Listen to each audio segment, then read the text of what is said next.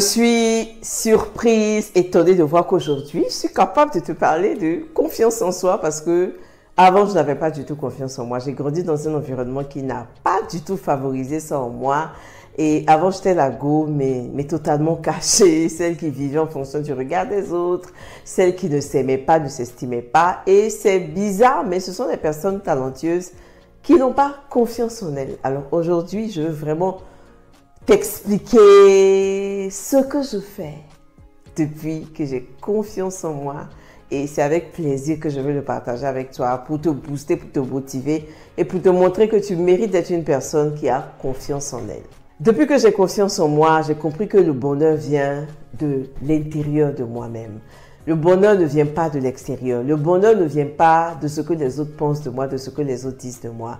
Le bonheur vient de moi-même. C'est-à-dire que c'est moi-même qui dois créer les conditions de mon propre bonheur au lieu d'attendre que ce soit les autres qui le fassent. En deux, je ne me compare plus aux autres parce que j'ai compris que là où je suis faible, d'autres sont forts et c'est OK. Mais là où je suis forte, d'autres sont faibles et c'est OK. Donc, je ne me compare plus à ce que chacun fait parce que chacun agit, chacun excelle dans le domaine dans lequel il est fort. Il y en a qui sont forts euh, dans le fait de rassembler des foules, il y en a qui sont forts dans le fait de faire des coachings en ligne, il y en a qui sont forts dans le fait de rédiger des livres. En tout cas, chacun a ses compétences clés. J'ai compris que chacun est venu sur avec ses compétences. Donc, je ne peux jamais me comparer aux compétences des autres parce que ce qui est fort chez moi peut être une faiblesse chez quelqu'un d'autre. En trois, je choisis mes batailles. Vraiment, je ne m'épuise plus à m'impliquer dans des choses qui ne me rapportent rien, des amitiés qui ne me rapportent rien, des discussions qui ne me rapportent rien, où tu veux juste parler pour te faire voir. Ça, ce sont des choses que je ne fais plus depuis longtemps. Donc, que tu m'aimes, que tu ne m'aimes pas, que tu m'apprécies, que tu ne m'apprécies pas, mais je m'en fous.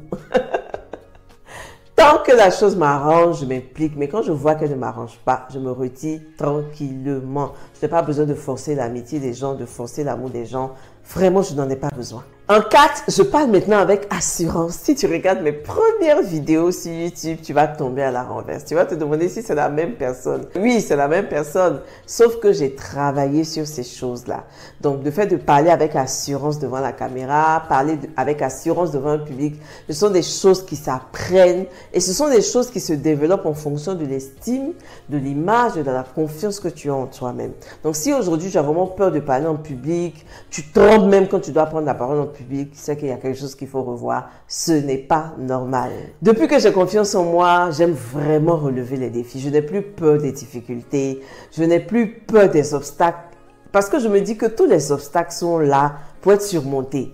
Donc, je n'ai pas à pleurer, je n'ai pas, je sais pas, à me traumatiser pour un obstacle parce que j'ai compris que les obstacles, les difficultés sont faites pour être surmontées et non pour m'écraser. Donc, chaque fois qu'une difficulté se présente, la question que je me pose, c'est comment je peux au mieux relever cette difficulté, relever ces défis? Et c'est ce que je fais. En sixième point, je n'ai plus peur d'échouer parce que j'ai compris que l'échec n'existe pas. Seuls les résultats comptent. Vous voyez, l'année dernière, il y avait plein de choses que je n'ai pas pu faire quand j'ai prévu de lancer mon planeur et tout ça.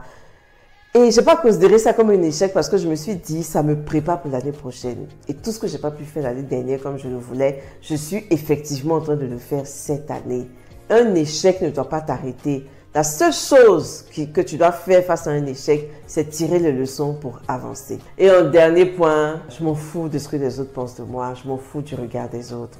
Je vis ma vie, je fais ce qui est important, je me mets en priorité, je mets ma famille en priorité, je mets mes enfants en priorité.